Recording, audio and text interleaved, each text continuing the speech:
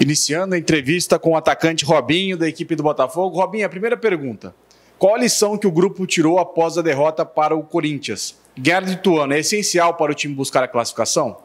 Então, é, logo após o jogo do Corinthians, né, a gente já conversou, o Paulo já passou para a gente, né, que a gente sabia que era um jogo difícil é, e faz parte, é difícil jogar lá contra o Corinthians, mas se já é, já é passado, a gente já já, já esqueceu, já a gente está focado no, no Ituano, né? sabemos que vai ser um grande jogo, um jogo difícil, onde eles vêm querer buscar uma recuperação no campeonato.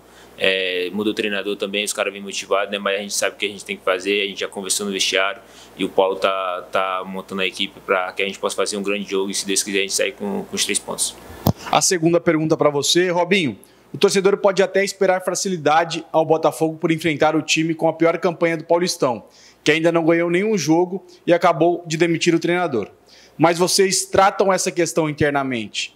É, quais são os riscos que o time pode correr se não entrar ligado contra um adversário que está nessa situação? Então, a gente sabe que vai ser um, um, jogo muito difícil, né, onde a equipe deles vem buscar, tentar buscar recuperação, mas a gente vai estar tá, tá focado, tá sempre buscando a vitória, independente de qualquer coisa que aconteça durante a partida, a gente vai estar tá focado e um ajudando o outro para que a gente possa conseguir essa vitória que é tão importante para a gente. Robinho, foi diferente esse jogo contra o Corinthians? Senti que você conduziu mais a bola e não tocou tanto para os seus companheiros. Isso é devido à pressão do jogo? Não, acho que é totalmente diferente, né? Um jogo apático, né? Diferente dos demais. A gente sabia que isso é um jogo difícil, principalmente para nós jogadores da frente, que é uma equipe que marca bem a pressão, então a gente tenta sair ali é, no drible ou no passe, mas acho que faz questão do jogo, é do futebol. E, e acho que a gente fez um, um, bom jogo, infelizmente a gente não conseguiu o resultado que a gente precisava.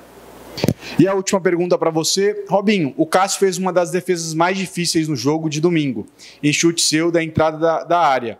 No jogo de quarta-feira contra o adversário, com, com certeza virá fechado. Será importante os chutes é, de longa e média, média distância?